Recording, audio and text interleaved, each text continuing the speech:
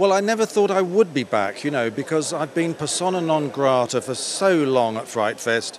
Nobody wanted to show my films, but that was in the old days, and now I'm so old, they just feel sorry for me. I never thought that this film I've made would be shown at Fright Fest. It was a thrill when Alan Jones said he'd take it, and it's marvellous being here.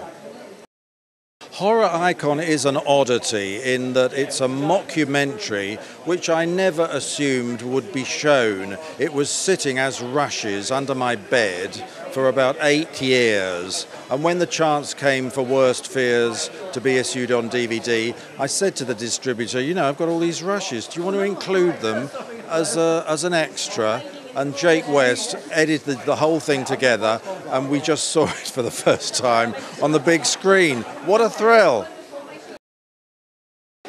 Horror is not for everyone. I've always said that horror is like a roller coaster. Some people like roller coasters, some people don't. But if you do, then you're immediately, as a horror fan, part of an international community. And I don't think there's any other kind of genre of film that does that, that brings people together, people who love to be scared. We all like that, but some people don't understand the appeal, and we quite like that.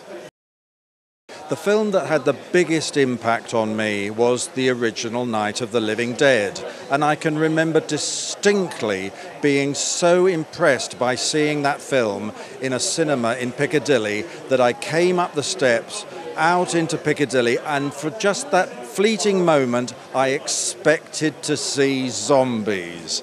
Now, if you can create that kind of effect with filmmaking, you're a genius, and that's what George Romero was.